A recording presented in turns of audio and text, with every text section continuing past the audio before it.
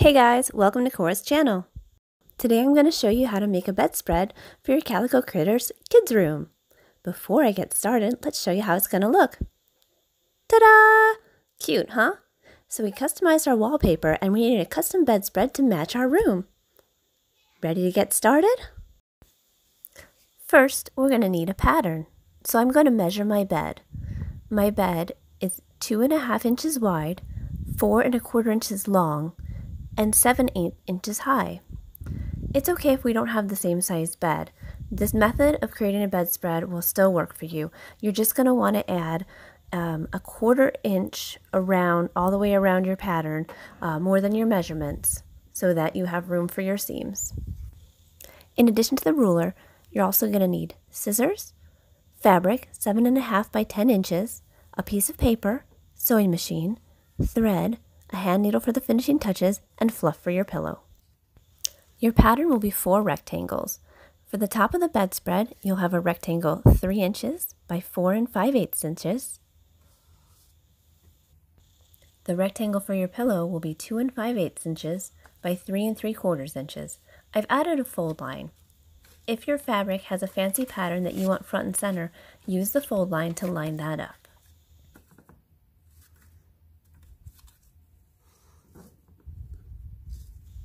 Here we go. The foot of your bedspread will be one and one quarter inch by three inches.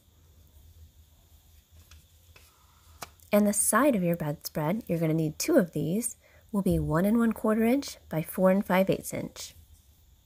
Now you have your pattern. Let's get your fabric.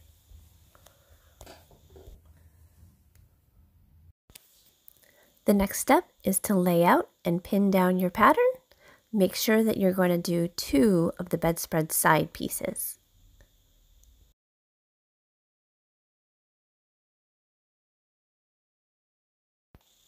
Your pieces don't have to be perfect, but when working with miniatures, it's best to get them as close to exact as you can. Again, it doesn't have to be perfect.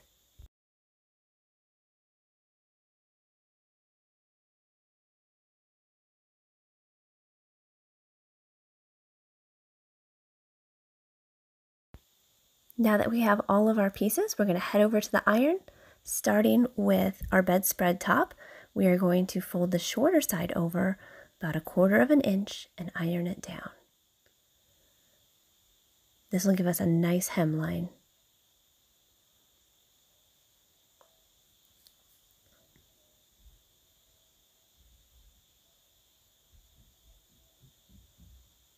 Next, we're going to do the foot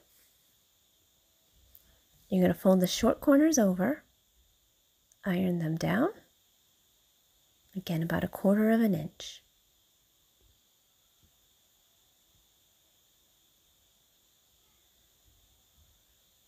And then you're going to do one of the long edges because the other edge will sew to the top of the bedspread. If it's not looking quite square, this is the time that you're going to want to refold it and do a little bit better ironing. Cutting's not that big of an issue. You can fix it when you iron and when you sew. That looks better.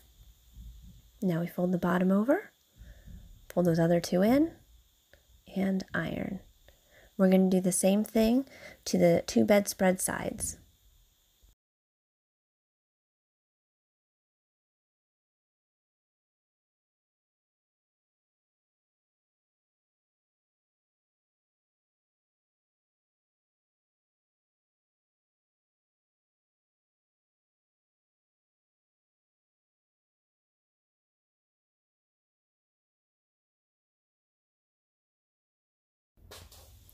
Before we sew all the pieces together, I like to check and make sure all my pieces line up.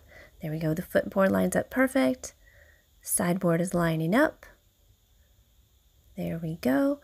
And then with the top piece, you just want to make sure that it's bigger. And all the rest of the adjustments you can make as you're sewing the pieces on. So perfect. Looks like all around we've got about a quarter inch seam allowance. Great. To the sewing machine. Starting with the bedspread footer, we are going to sew around the edges This is going to give it a nice finish. You just have to go slowly and carefully, making sure that you keep that fold down and trying to sew right in the center. Next, we'll attach the footer to the top of the bedspread. You're going to want to center it, leaving about a quarter inch on either side, and then you'll sew the two together using a quarter inch seam allowance.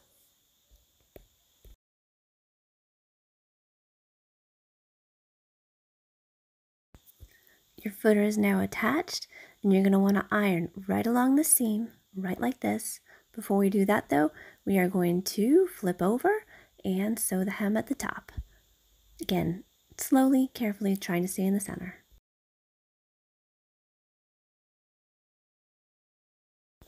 Next, we'll sew around the edges of both side pieces, same as we did to the footer.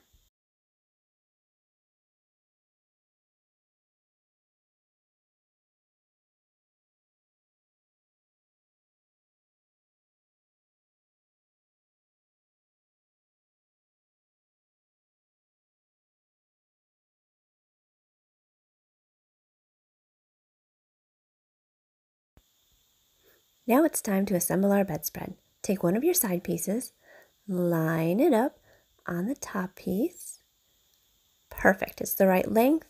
Looks like I might have a little bit extra on the bedspread for the seam allowance. I'm going to check it on my bed, line those up. And yep, perfect right about there. It's great to have the bed, that way you always get it exact. You won't have to pull your stitches out and resew.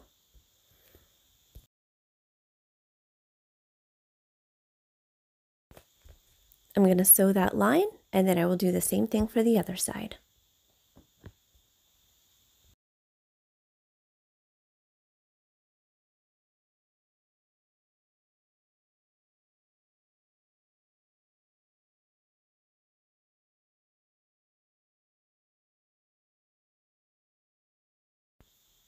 All right, sewing of the bedspread is complete. I'm just going to check the fit of the bedspread.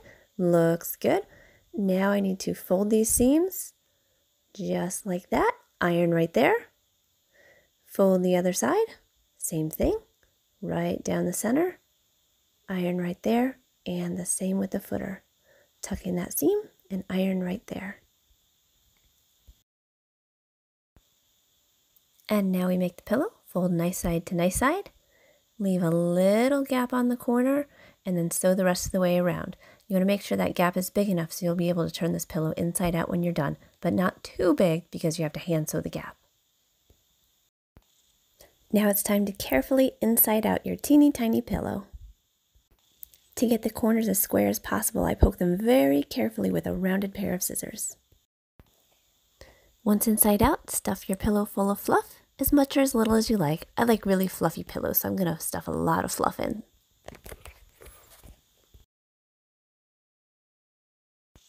And now it's time for the finishing touches. The bedspread is a perfect fit. The pillow, ta-da! All right, so what you're gonna wanna do to finish it up is you're gonna add two stitches, one on each side. So fold those, line them up, put a single stitch right about there, tie a knot. You're gonna flip it over, do the same thing on the other side.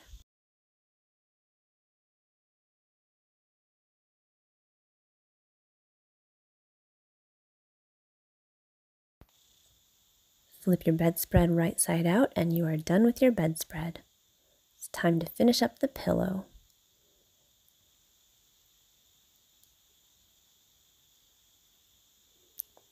Take your needle and you're just going to close this tiny little gap.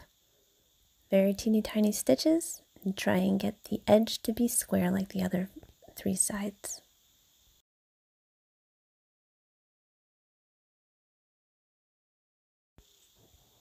perfect and squishy. There we go. And you're done. Time to move it into the dollhouse.